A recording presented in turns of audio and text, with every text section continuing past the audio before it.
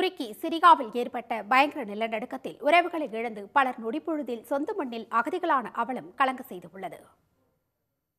துருக்கியில் அடுத்தடுத்து ஏற்பட்ட நிலநடுக்கம் பல நகரங்களை மண்ணில் புதைத்துவிட்டது.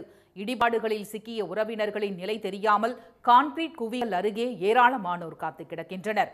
பெற்றோரை இழந்த குழந்தைகள் பிள்ளைகளை பறிகொடுத்த பெற்றோர் என உறவுகளை நினைத்தும் கை கால்களை இழந்தும் உயிரிழந்த நிலையில் மீட்கப்பட்டவர்களை பார்த்தும் கதரும் காட்சிகளும் கண்கலங்கச் செய்துள்ளன. நிலநடுக்கத்தால் பாதிக்கப்பட்ட துருக்கி சிரியாவுக்கு உலக நாடுகள் நேசக்கரம் நீட்டி வருகின்றன. இடிபாடுகளில் சிக்கியவர்களை கண்டுபிடிக்க ஜெர்மனி கிரீஸ் ரஷ்யா ருமேனியா உள்ளிட்ட நாடுகளிலிருந்து மோப்ப நாய்கள் வரவழைக்கப்பட்டுள்ளன. வீடுகளை இழந்த மக்கள் கொட்டும் பனி மற்றும் மழைக்கு இடையே குழந்தைகளுடன் சாலைகளில் பரிதவித்து வருகின்றனர்.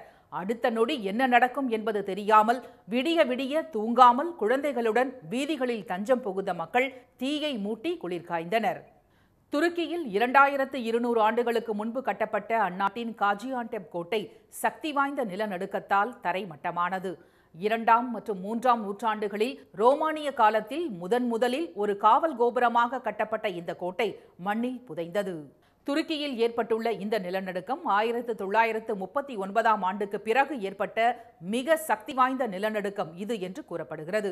இதனால் சேதம் அதிக அளவில் ஏற்பட்டுள்ளதாகவும் தெற்கு மற்றும் மத்திய துருக்கி நகரங்களில் இடிபாடுகள் அதிகம் உள்ளதாகவும் புவியியல் ஆய்வாளர்கள் தெரிவித்துள்ளனர். உடனுக்குடன் செய்திகளை தெரிந்து கொள்ள சன் நியூஸ் பெல் கிளிக் பண்ணுங்க.